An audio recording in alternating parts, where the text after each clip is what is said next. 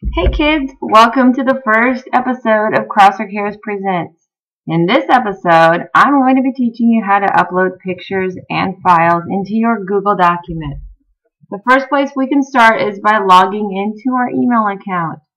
The best way to do that is to go to crossercares.com. You can scroll down and either click the small technology class link or go ahead and link to your email right here. Then you will log into your email account, which I've already done. Up here on the top left hand corner, you can see different tabs. The Mail tab will be selected. You need to click the Documents tab. Once you click the Documents tab, we're going to come over here to Upload.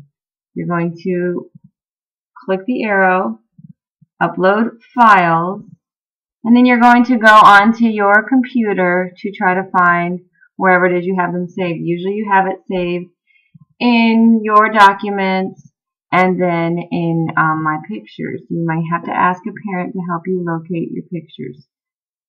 I'm using a computer that has the new Windows on it, so your computer may look a little bit different, but in your file, you're just going to kind of go through and find the pictures that you want to upload.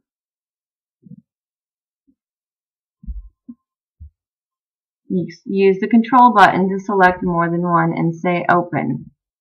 Remember, we don't want to select these two, just leave those as they are, but this one can stay selected and say start upload.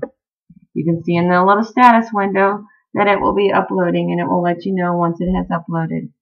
Once you can see both have uploaded, you may close it and you see both pictures are now added to your Google Documents. That's it. Good luck. Have fun.